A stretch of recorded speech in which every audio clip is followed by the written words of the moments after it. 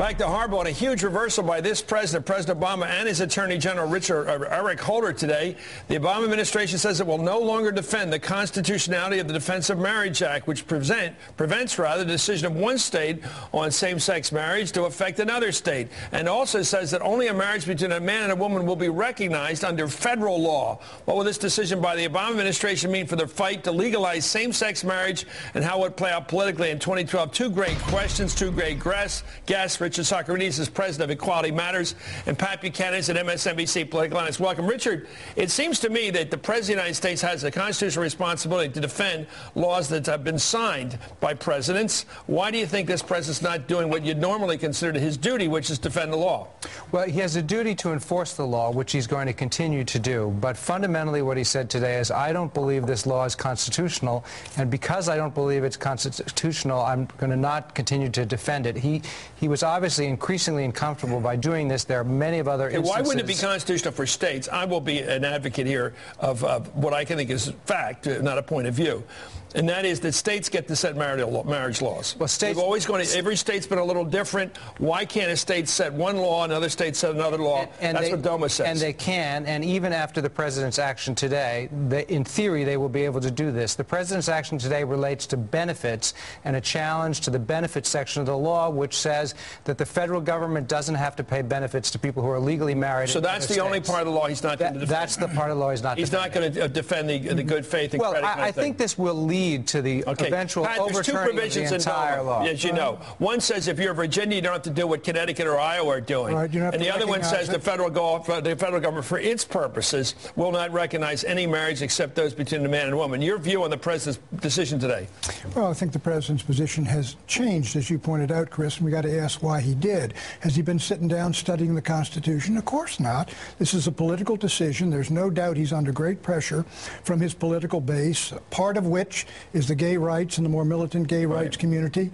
And I think he simply capitulated. Chris, we have a very weak president, quite frankly. You take a look, he did not face fiscal and financial disaster. You saw his statement on Libya. The, the man is not a strong leader. And I think what he and Holder are doing. Who have been strong presidential leaders in your lifetime? time. Well, I think, uh, well, frankly, Richard Nixon was strong. Harry Truman was strong. I think Ronald Reagan was a strong leader. I think in some ways, though I disagreed with him, Bush was. Bush, too. Actually, you know, I think this shows incredibly strong leadership, and I think it builds on the momentum that the president and Why the White House saw to get the past point? You know, I, think, I, do think the country's changing you know its mind. Is happened? he changing his mind? I, well, I think he says he's in the middle of an evolution, but I think what you see is that they saw the success Don't Ask, Don't Tell, the repeal of Don't Ask, Don't Tell. It was singularly the most popularly, popular. It was so the most move. popular. You're sitting next to someone who doesn't believe in evolution. No, but listen, so let's take a look most, at it was the most important and the most okay, popular thing the president okay. I think the president is in the middle of an Use evolution. the word popular. Okay, maybe, but let's see. Here he was in December of last year talking about his feelings on this issue of same-sex marriage, where he opposed it, remember. Let's listen. My feelings about this are constantly uh, evolving. I struggle with this. Uh, I have friends.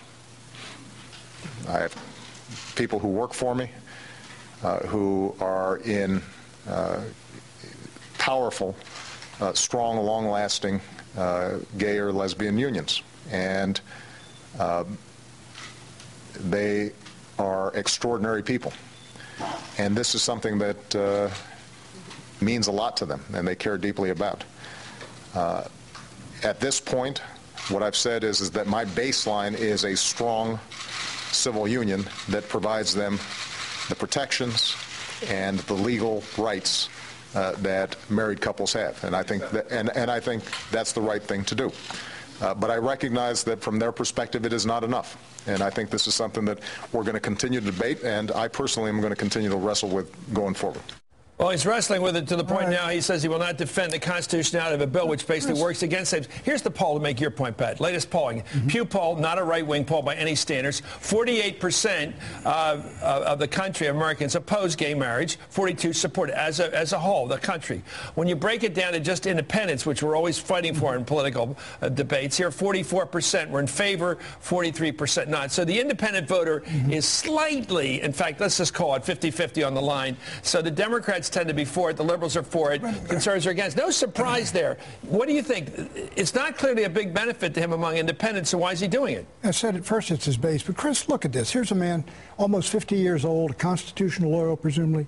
Moral truth doesn't change because of polls, and the Constitution doesn't change because of polls. How are you grappling and evolving with an issue? But, Pat, you know, when been- we know the law. He- we the know the Constitution, Constitution. by he's- that, but Pat, Pat, the Constitution, the way we interpret it, Well, obviously well, does you can change, the And- and- interpretation, but you cannot change the And- Constitution. And can I say, he really has been clear on this from the start. He said that this law is, even when he was running for, for president, he said this law was unfair and was wrong and should be repealed. What he's doing now is bringing the government, bringing the Okay, Justice now, Department don't in you- Let's talk about the world we live in. Sure. Plessy Ferguson said it was is all right to have separate but equal in schooling. Brown came along, right? The Warren Brown Court. was based on and Brown basically said, yeah, you It was can't. based on sociology, Right? as well, this may well be based on sociology. Pat, Well, well- Pat, the world is changing. You have to agree. The uh, look, world why is changing. why don't People's views on this if you don't, changing. Richard, if you don't like DOMA, I can understand it. Put something up to the Congress of the United States and change it. Well, that's what he tried Don't to send do, the but you Department of. Justice He- say, Okay, now You know do it. what? Now, that is a good, defensible Scalia-type position. right. Judge Put Scalia once before said when I interviewed him, I like laws. Congress should take these issues on. And you know what the vote president and, and, ch- and but the this, president- this, the but this Congress isn't going to do this it. president said that my first choice would be to have Congress repeal this, but I Paul, can't get it. Can I ask you a political question, Yeah. Richard? Will this help with gay groups? It'll help a lot. This is a very significant. I don't think it'll help a- with our ground, Well, but but- this is listen. I listen the, the mood of the country is changing. Discrimination against gay people is no longer But, popular. you know- you showed those polls, but some of the other Richard- polls are even are even more Last, 50-50. very, very quick point. Ten Look, seconds. Moral truth exists and it doesn't change, and all things are not equal, but Richard. people's views on these things change. Okay, Pat, Richard even you're evolving on this, Pat. I can tell.